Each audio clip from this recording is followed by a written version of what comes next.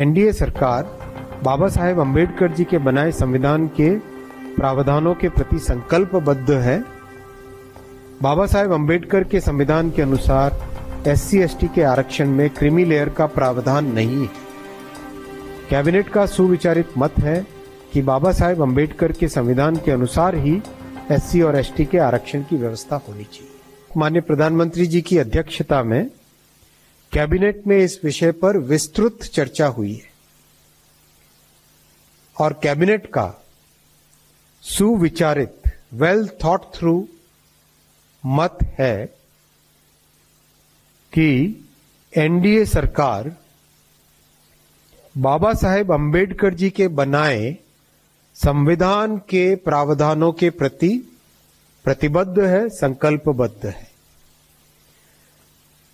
बाबा साहेब अंबेडकर जी के संविधान के अनुसार एससी और एसटी के रिजर्वेशन में क्रीमी लेयर का कोई प्रावधान नहीं है।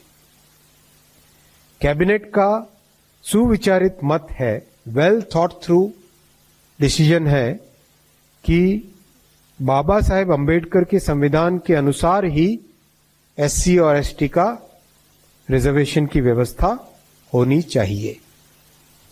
ये साथियों पाँच बड़े फैसले आपके सामने रखे। I take some questions already it is 950 हाँ प्रशांत। प्रशांत सर प्रशांत हूँ एनडीटीवी से। सर सबसे पहला सर आखिरी में जो आपने बात कही सर एक क्रीमी लेयर का मसला है दूसरा सब कैटेगराइजेशन का भी मसला है सर आरक्षण के भीतर आरक्षण का। क्या उस पर भी कोई चर्चा हुई कैबिनेट में? और क्या फैसला हुआ? जितनी चर्चा हुई मैंने उतना बताया आपको।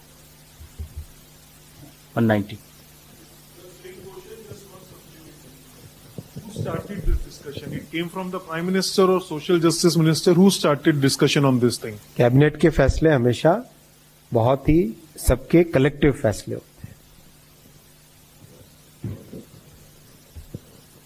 Yes yes.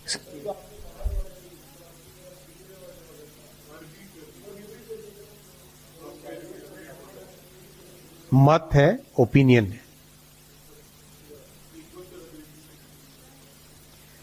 अभी हाल ही में माननीय सुप्रीम कोर्ट ने आरक्षण के विषय पर एक जजमेंट दिया है। इस जजमेंट में सुप्रीम कोर्ट ने एससी और एसटी रिजर्वेशन पर सुझाव दिए हैं। आज प्रधानमंत्री जी की अध्यक्षता में कैबिनेट में इस विषय पर विस्तृत चर्चा हुई है। कैबिनेट का सुविचारित मत है कि एनडीए सरकार बाबा साहेब अंबेडकर जी के बनाए संविधान के प्रावधानों के प्रति संकल्पबद्ध है। बाबा साहेब अंबेडकर के संविधान के अनुसार एससी, एसटी के आरक्षण में क्रिमी लेयर का प्रावधान नहीं है। कैबिनेट का सुविचारित मत है कि बाबा साहेब अंबेडकर के संविधान के अनुसार ही एससी और एसटी के आरक्षण की व्यवस्था होनी